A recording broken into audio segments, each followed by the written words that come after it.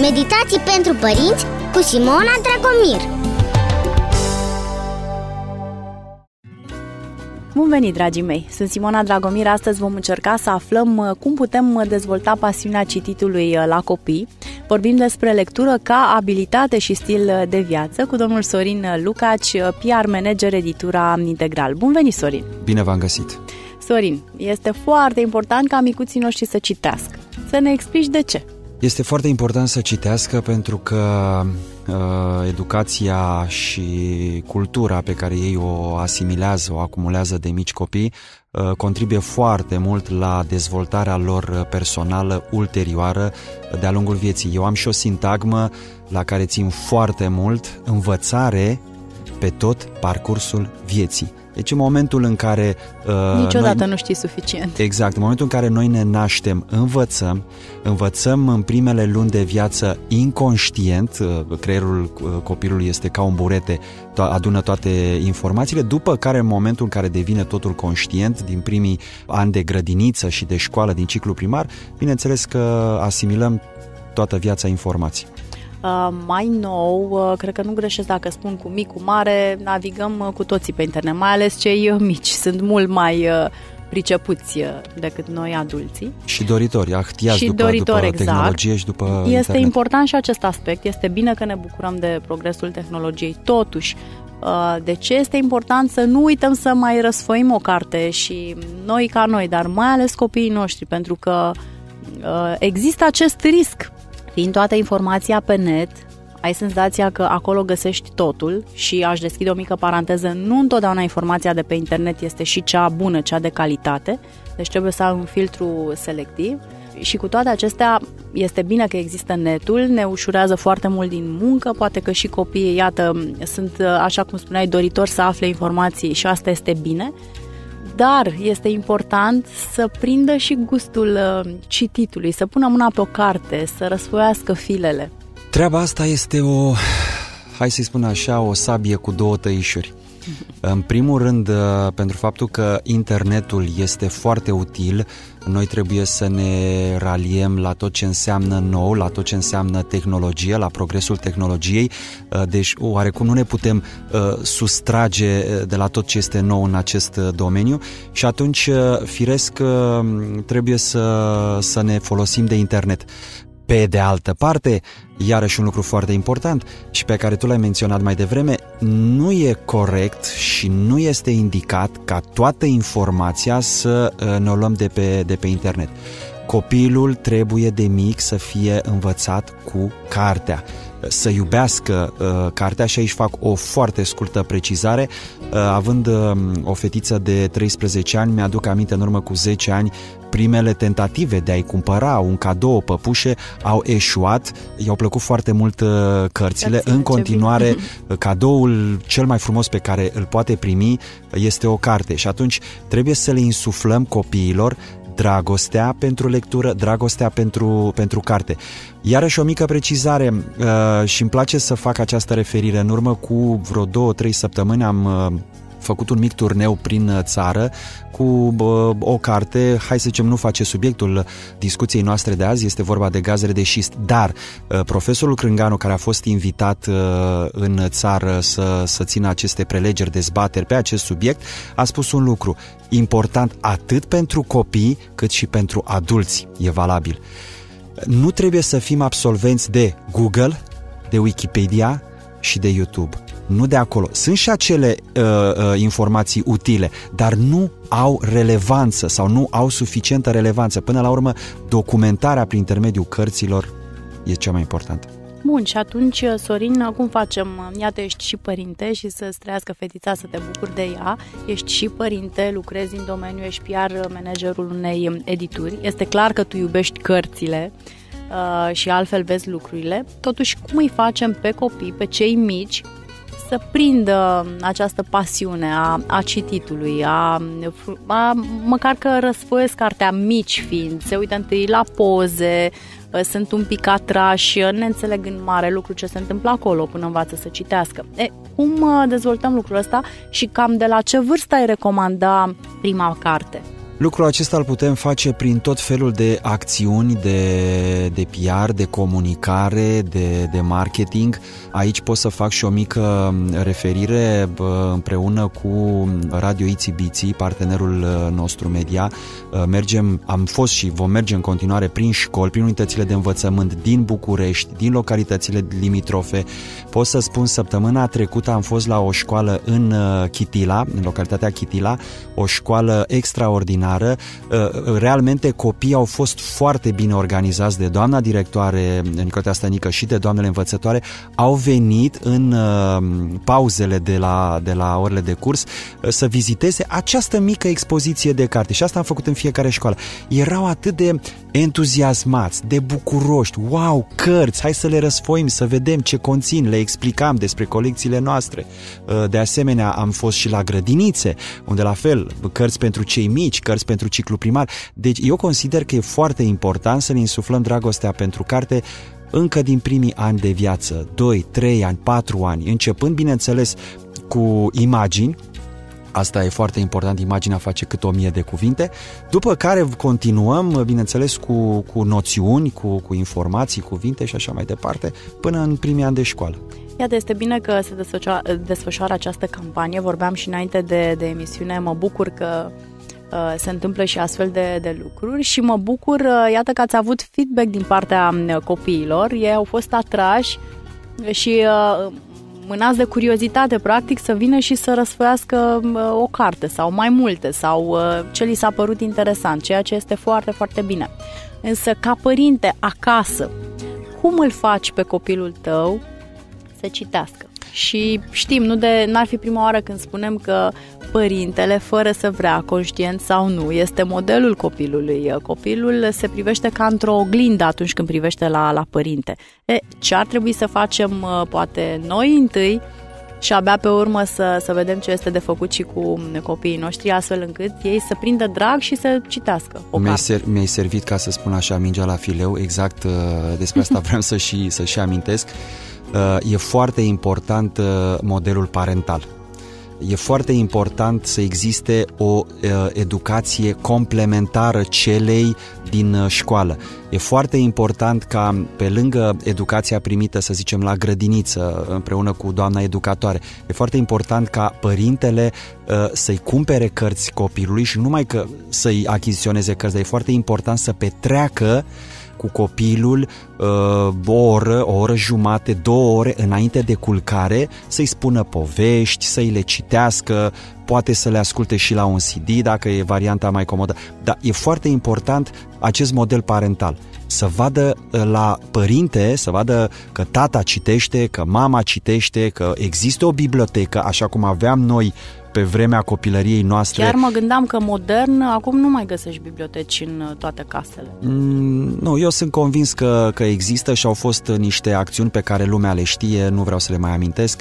Anumite uh, ziare cotidiene de tiraj mare au scos cărți, a fost reîmprospătată BPT, pe scurt Biblioteca pentru, pentru toți, Biblioteca pentru copii. Foarte uh, frumos uh, prezentate cărțile și eu am luat uh, toate da, colecțiile și da. arată foarte bine exact. Acum, celor important mici. este un alt lucru aceste cărți să nu fie luate doar de decor. Exact. Pentru că degeaba am o bibliotecă pe tot peretele frumos aranjată acasă dacă nu citesc. Deci până la urmă contează foarte mult, repet, uh, începând de la bunici, părinți, uh, rude, copilul să vadă acest model. Uite, mama citește, tata citește, încep și eu de la din primii ani să iubesc cartea și voi continua să, să o citesc, indiferent dacă o fac pe tabletă sau pe carte. Aici nu se canibalizează, deci nu poți să-i cer unui adolescent de 12, 13, 14 14 ani să citească pe cartea printată, pentru că e clar, ei acum citesc de pe e-book-uri, de pe tablete. Noi am rămas cu nostalgia și cu bucuria unei cărți printate. Deci avem altă vârstă și noi cu asta am crescut, cartea printată. Dar din punctul meu de vedere, trebuie să-l determinăm pe copil uh, la modul frumos, nu, ca o, nu obligatoriu și nu să fie o corvoadă, să citească chiar și așa, de pe tabletă sau e-book. Deci nu te deranjează dacă nu, citești o carte, nu. totul este să citească și să culeagă informația corectă, pentru că, așa cum spuneam mai devreme, nu întotdeauna pe internet 100% informația găsită acolo Sigur este și cea da. corectă. Sorin spunea mai devreme că este foarte important ca noi nu doar să avem cărțile în casă, în bibliotecă frumos aranjate, ci să le și citim Este important ca micuțul să vadă și să urmeze exemplul părinților. Dacă mama, tata uh, citesc, uh, răsfoiesc câte o carte, atunci și el uh, va face firesc acest lucru. Spuneai, Sorin, că este important copilul să citească, fie că este carte tipărită, fie de pe tabletă, nu te deranjează acest lucru, informația să fie cea corectă și să ajungă la, la copil. Și iarăși foarte important de semnalat și acest lucru. După cum știm, librăriile în ultimii ani uh, au cam dispărut. Au rămas foarte puține librării în țară, nu știu dacă mai sunt 200 în, uh, în toată țara. Sunt uh, orășele mici care nu au, uh, nu au librărie. La fel, uh, fondul de carte din biblioteci s-a redus, s-a rămas același de acum 15-20 de ani. Foarte important pentru că în aceste zile s-a desfășurat uh, un uh, târ de carte. E foarte important uh, părintele să-l ia pe copil și să-l ducă la un târ de carte să viziteze. Vă dați seama că acolo sunt zeci, poate sute de edituri. Iarăși copilul prinde drag de carte. Uh, Atmosfera este impresionantă. Este impresionantă. Să vezi peste tot uh, mii Iarăși de cărți. copilul prinde drag de carte, văzând atât de multe, multe cărți aranjate, își are rolul lui un astfel de, de târg. Și poate că nu doar uh, cărțile, că sunt foarte multe cărți într-adevăr, foarte frumos aranjate, prezentate, lansări de carte, dar și oamenii care vin și uh, sunt interesați uh, fie să cumpere, fie să afle, fie să frunzărească, să citească acolo pe loc o carte. Vă Copilul seama, vede toate aceste Sigur lucruri. că da. Câți, uh, câți părinți mai merg în librării? Sincer, înainte, cu ani în urmă, uh, librăriile erau asaltate. Acum nu prea ai timp să-ți mai iei copilul să intri într-o librărie. Așa e. Târgul de carte îți oferă acest lucru. Plus Și- că, și ca din dimensiuni, fericire- este un târg de carte, este de, are, ca fond de carte, are cel puțin de 4-5 ori mai mult decât o librărie. Corect. Deci este bine că există astfel de, de târguri să profităm din plin de ele. Mă gândeam că din fericire și în hipermarketuri atunci când te duci să-ți faci cumpărăturile și ești în familie, uh, dacă vrei să răsfoiești o carte, o poți face liniștit. Există la fel acele împreună cu insulițe copilul. de, da. pe, de pe esplanada din galeriile comerciale care au, uh, au cărți și este un lucru foarte binevenit. Asta mă gândeam că, iată, spuneai, au cam dispărut uh, librăriile, dar uh, este bine că mai găsim uh, cărțile și le, le putem uh, atinge, le putem uh, răsfoi și dacă ni se pare interesant acea carte, de ce nu să o cumpărăm și să o avem uh, și acasă. Uh, Te întrebam, uh, Sorin, cam de pe la ce vârstă ar fi bine să-i familiarizăm pe, pe copii? Uh, Prima carte, tu ca părinte, când ar trebui să o cumperi copilului? Eu mărturisesc lui Marc, am luat-o pe vremea când era bebeluș, avea câteva luni și vreau să spun că a fost foarte încântat de ea și până spre un an și un pic, deci chiar dacă nu știa el să citească, să scrie, o ținea cu fundul sus, dar era fascinat de ea. La fel Rebecca acum, pentru că Marc între timp are aproape 8 ani, Rebecca e disperată cum prinde o carte, un caiet de-a lui Marc, la fel uh, are și ea cărticica ei și uh, eu zic că așa ar trebui să se întâmple lucrurile, să le aibă prin preajmă, chiar dacă nu știu să le țină corect. Sunt atrași de, de carte. Da, cred că de la, de la primele luni există acel uh, senzațional, îi spun eu, album al uh, bebelușului. da. Da, util și pentru mămici și pentru, pentru copii, cu poze și așa mai departe. Dar, uh, după cum știm foarte bine, sunt uh, multe edituri care au un portofoliu cărți pentru copii, uh, care au acele cărți jucării. Da? Exact. Cărticele La asta mă gândeam. cu uh, cuvinte, cu noțiuni, cu fructe, cu animale, cu legume, cu tot felul de... Uh, și, au uh, și din imagini. materiale speciale, Din materiale Sorin. speciale, Uh, palpabile. Am eu una acasă, da, uh, cărticica lor a fost de fapt prima carte și a lui Marc și acum și a Rebecca, e dintr-un uh, Material special, material exact, exact. nu știu, nu e nici plastic, nici cauciuc, nici ceva poros, astfel încât răsfoiești ca o carte, este destul de măricică și foarte ușoară, astfel încât bebelușul să o poată mânui cu ușurință să o țină în mânuțe, nu se rupe și are la fel niște figuri geometrice detașabile. Ca să nu mai vorbim de uh, cărțile tridimensionale, Ah, la fel. care sunt extraordinare, sunt, da. Practic mă fascinează pe mine ca adult. Da, așa e. Uh, Dar astea sunt mai ușor de stricat, să spunem. Dacă atras bebelușul, le mai uh, rupe, Alea le sunt mai deja strică. pentru, sunt pentru copilaj 3 de- ani, 3 exact, ani jumate, mai mari. 4 ani, da. Sunt, și sunt foarte frumoase de, de Crăciun, uh, cu brad, cu îl poți împodobi, sunt extraordinare. Deci, iată ăsta că e momentul, există, da. Mhm. ăsta e momentul. Cartea jucărie, da? Pentru că copilul asociază asociază foarte mult uh, imaginile pe care le vede cu uh, obiecte, cum spuneam mai devreme, cu animale, legume, plante și așa mai departe. După care, bineînțeles, trecem în altă fază, unde apar uh, uh noțiunile, unde apar informații, unde apar cuvintele. Iarăși foarte important este ca uh, cărticelele de limbi străine, da? Știm foarte bine, sunt, sunt pline la, la, la târgurile de profil în limba engleză, în limba franceză, în limba italiană, în limba spaniolă. La fel, copilul învață, sunt noțiuni, sunt imagini, sunt... deci uh, în felul ăsta învață și primele cuvinte în, uh, în limbile respective. Da, corect. Uh, deci ideea este, Sorin, copilul să înceapă să prindă drag cumva în joacă, adică să nu fie o corvoadă faptul că a, trebuie să citesc o carte, o poveste. Se mai întâmplă un pic mai mare când este la școală copilul și primește lecturi, teme de, de citit. Am văzut toți comentează, of, ne-au dat nu știu câte cărți, când Știi, citesc, cât... Îți spun foarte pe scurt care e problema. să se întâmple așa, exact. să fie ca o, Cor, ca da, o, o corvoadă, o, ca un Să aibă titlu de da. obligativitate. Da. E foarte simplu. Uh, unii învățători, profesori, nu se adaptează poate programei uh, școlare sau care este uh, destul de exact, încărcată, trebuie sau să recunoaștem. țin foarte asta. mult la niște modele pe care uh, modele depășite din punctul meu de vedere. Nu poți să-i cer unui copil de 14-15 ani, de 12 ani să citească numai Ion Creangă, numai Petre Ispirescu, numai Sadoveanu uh, și așa mai departe. Deci tot ce am avut noi în, uh, în copilăria noastră până la adolescență.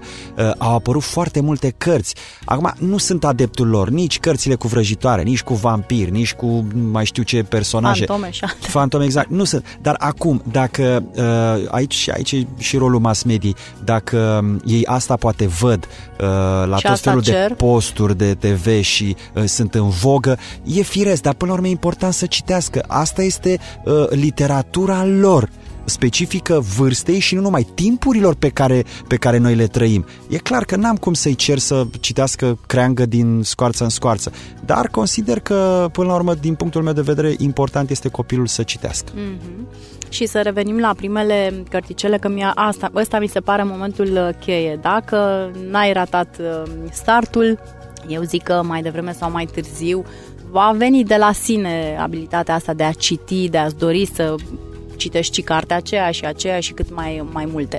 Uh, mă gândeam la fel când alegi o carte să fie uh, nici foarte groasă, nici foarte greu de ținut în mână, caracterele să fie destul mari, de mari. Da, fontul mare, uh, da. Exact, un font ușor de citit, pentru că am văzut când sunt în grupa zero pregătitoare și ei încearcă și leagă litere, cuvinte, fraze, este important să ai o astfel de carte. Exact. Uite, acum mi-ai spus iarăși un lucru, iarăși mi-ai servit așa la, la fileu mingea. Noi avem niște colecții senzaționale în versuri, deci toate cărticele A, sunt drăguț. în versuri. Da, Vă ca să fie că mai atractive Mai ușor de asimilat informațiile, cunoștințele. Uh, nu-l pun pe copil neapărat să citească. Copiii ce fac? La grădiniță învață foarte multe poezii, da? Cărțile noastre, că e abecedar, că este aritmetică, că științele naturii, geografie, zoologie, micul pieton, educație rutieră, toate sunt în versuri. Îți dai seama cât de ușor asimilează un copil cunoștințele. Eu sunt îndrăgostit, de exemplu, de tabla înmulțirii și tabla, ă, tabla împărțirii, adunarea și scăderea. Rareș, băiețelul meu, în clasa 1 a șapte ani, mi-a învățat de dimineață româna mi-a învățat ă, dimineața când am plecat la muncă și am seara, mi-a învățat uh, înmulțirea prin versuri până la uh, 4. E, e o chestie. Dacă Super. îl puneam, dacă îl Mai puneam, greu. Îți, dai, îți dai seama, noi aveam acele caiete exact, de matematică spate. și pe spate, pe coperta 4 învățam. Cât și de, de greu am învățat noi. Nu învățam neapărat Cât de și mereu trăgeam cu coada exact. ochiului și scoteam coperta și ne inspiram În versuri de acolo. este mult mai ușor. Și uite, uh, cred că primele trebuiau să fie cele de colorat. Am uitat cărțile de colorat. Și pentru că, că da, și acela contează, este un prim da. pas uh, la o anumită vârstă. Deprinderea uh, de a desena. creioane speciale astfel încât să nu se rănească. Pentru că uh, există și temerea părintelui cum să-i cumpăr creion ascuțitoare de la vârsta asta, să-și-l bage în ochi. Sunt acele creioane cerate cu un vârf special uh, care să nu rănească, doar copilul să coloreze. În felul ăsta nici nu-ți mai mâzgălește pereții. Exact, Învață sigur că, că pe da. Asta are și important, caiet, apropo de mâzgălit pereții. important, da. exact, îi dai o activitate își uh, dezvoltă și el ce are de dezvoltat și ce cunoștințe are de acumulat, așa cum trebuie, pe carte, pe caiet.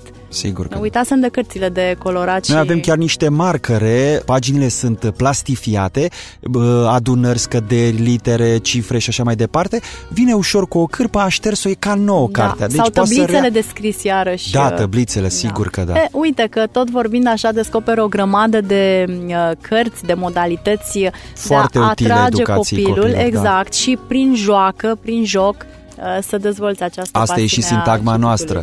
Da. Uh, Jocul cunoașterii. Învățare prin, uh, prin intermediul jocului. Foarte frumos. Uh, Sorin, îți mulțumim uh, pentru sfaturi. Eu vă mulțumesc din suflet. Sper să fie utile celor care ne-au ascultat, uh, copiilor, pentru că și ei, uh, ne Părinților. ascultă părinților, copiilor uh, și uh, mai târziu să avem timp cu toții și să citim în continuare, pentru că și lipsa timpului pe urmă te concentrezi pe ce ai de citit de specialitate în funcție de jobul fiecăruia și din păcate nu prea mai ai uh, timp și de beletristică, de orice Proză, altceva poezie, ți-ai uh, mai dori, ales, da, exact, proză, poezie. poezie. De, să avem uh, timp și deschidere și dorință și uh, să ne fie bine. Alături de noi a fost domnul Sorin Lucaci, PR manager editura uh, Integral. Atât pentru astăzi, uh, aștept întrebări, mesaje la meditații pentru părinți aron itibiții.ro. Sunt Simona Dragomir, sănătate și numai bine îți doresc, pe curând! Meditații pentru părinți cu Simona Dragomir